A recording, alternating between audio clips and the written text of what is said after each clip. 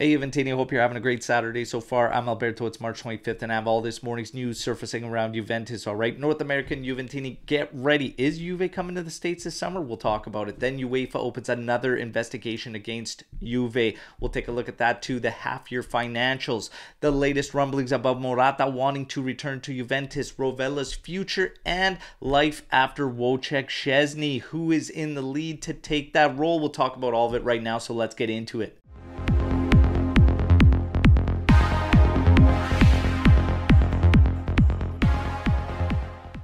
All right, everybody, first and foremost, if you enjoy the content, please like the video and, of course, subscribe to the channel. Now, let's get into it. So, North American Juventini, we saw that Juventus came to Los Angeles last summer. It was great times, all right? And are they coming back? Well, we hear Barca's president talking about the connection with Real Madrid and Juventus to play more friendlies in the States. And a little birdie has told me that Juventus will be coming to the States again this summer, this time on the East Coast. But again, we have to wait for confirmation. But stay tuned for that one, everybody. Now, UEFA opening up investigations, another one this time tied to the Prisma case. A lot of Juventini confused, thinking, haven't they already done that? Well, they did, tying one to the salary case. Now they're opening up another official one because so far they were just keeping tabs on the Prisma one, but there is officially an investigation open now tying to the Prisma case. Again, we're not going to get the answers, and everybody seems to feel the same way. We shouldn't be shocked that UEFA is looking to punish Juventus, especially after the breakdown between Andrea Agnelli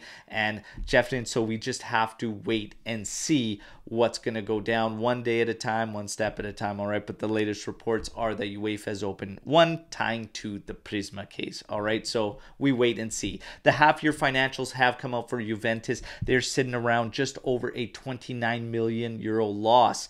Now, while still a loss and a deficit, much, much better than the half year report the year prior, which was just over 112 million euros. So while we get frustrated with some of the moves Juve makes in the Mercado and sometimes how our roster sits and whatnot, this is something that has needed to happen since COVID and whatnot. And they've done so by cutting salaries and integrating the young players. That is why it has been so huge that Juve Next Gen has taken off and done well, and these players have been ready to integrate.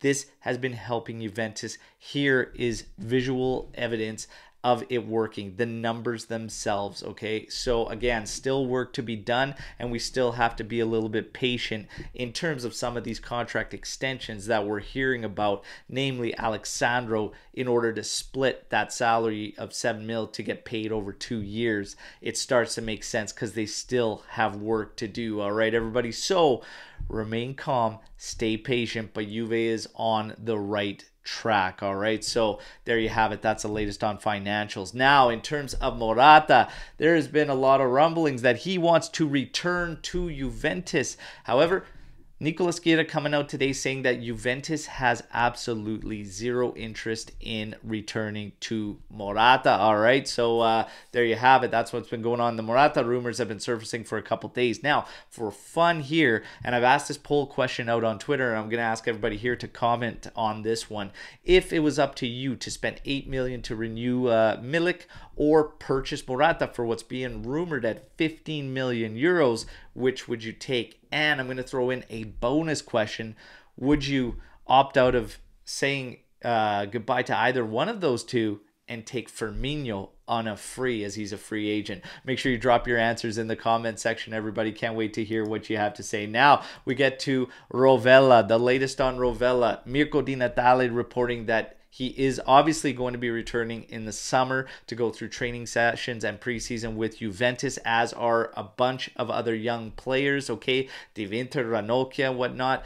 But Mirko Di Natale saying there is a strong chance that Rovella is going to be staying for the season as well next year. Now, again, this is going to be all speculation and everybody's going to have their thoughts. Giovanni Albanese basically said that look for one or potentially two out of the youngsters to be sold, and Rovella Ranocchia could be a couple of them, whatnot. Nobody's going to know until we get into preseason and probably start going through preseason as to what's going to happen. It's far too early to tell right now, but Rovella, sure, he has a strong chance of staying. He also has a strong chance of potentially being sold. We have to wait and see. For me personally, I hope that he's integrated into the team next season, especially if we are going to be losing a midfielder like uh, Adrien Rabiot or whatnot. But again, we'll wait and see what happens. And now, last, certainly not least, life after Wojciech Szczesny you are going to get two names, and we've got two names steady. That's Vicario and Carnesecchi. Carnesecchi posted here on the photo is the one that's the front runner according to reports today,